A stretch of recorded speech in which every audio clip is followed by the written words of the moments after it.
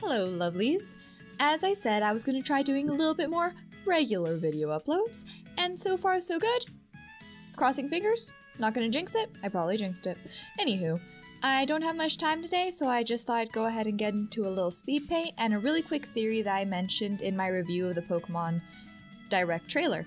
And that is what I think is going to go on with Slowpoke. As you know by now, or maybe you don't, Slowpoke has been announced as having a Galarian form for the new Pokemon DLCs Pokemon Isle of Armor and Pokemon Crown Tundra. And it looks kind of um, interesting. They didn't really do all that much to Slowpoke other than changing the top of its head and the tip of its tail to a really bright yellow color.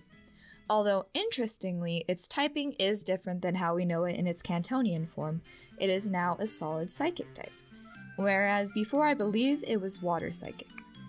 I could very be wrong. I don't have the time to look up right now. Anyways, as I mentioned in that video, which I'll go ahead and link down below if you want to see it for whatever reason, I believe that Slowpoke's Galarian evolutions are going to be Psychic Ghost type. And this is probably most obvious with Slowking, as we see it in the DLC trailer, as we can see that there is a little bit of a misty aura around it.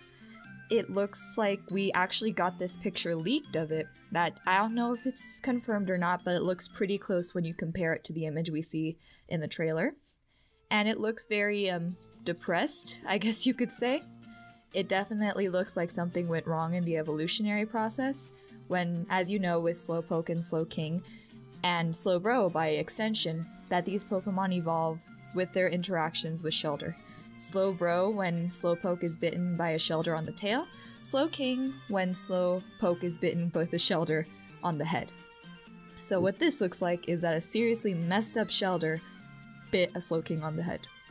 So that started getting me into why would a Shellder be all messed up? And the fastest thing that my brain connected to was as we know, some aspects of Pokemon recently are kind of tying into whole climate issues and everything. I'm not going into that that much now, but climate change is real.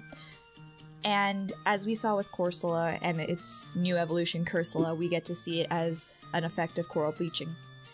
And what I see going on with uh, the Shellder line in relation to the Slowpoke line in Galar is that looks like that this is tainted Shellder, somewhat like if you want a real world connection, perhaps tainted. What is Shellder based off? I don't remember at the top of my head, but tainted shellfish. Wow, you just walked into that, didn't you, Sarah? Anyways, it looks like it's tainted shellfish, possibly due to whatever cause that could happen, like even in the real world, as we see with oil spills and all that fun stuff. Of course, not fun stuff. And it looks like that when a Shellder that is contaminated by whatever pollutant, by whatever horrible thing going on in the environment, bites a slowpoke, notably a slowpoke in Galar, that it causes this kind of corrupt evolution of Slowking. And that ties into the whole possibly being a ghost type, in that, well, it's sort of already as good as dead, right? It's depressing, very depressing, when you again link it to our real world counterparts. But that looks like it would be a pretty strong message for them to put into a Pokemon game considering that Pokemon games in the past have been known to associate themselves with the climate. It's very pro climate, as you all probably know.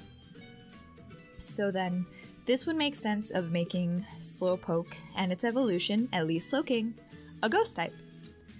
I also believe that the Slowking for Galarian Slowpoke could theoretically also be a poison type for the same reason as being tainted and all that stuff.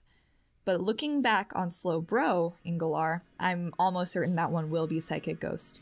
Whereas Slowking, I can lean to either Psychic Ghost or Psychic Poison, both of which are possibilities I think are very likely. Right now, it's still probably a bit too early to tell. I've been looking through the forums, I've been looking through recent Nintendo news, and it doesn't look like we've received any more information on it so far. We do have a confirmed date for Pokemon Crown Tundra, I don't recall. It's somewhere in November. And probably we won't know much about that one until even further out in the future. But this is all I really had to say about Slowpoke. I know it's not a super in-depth video, it's not a super big theory, but I wanted an excuse to draw this little this little ruffian after I got him in Pokemon Shield. And at the very least, I hope you enjoyed this speed paint and I hope you have a good day. Goodbye.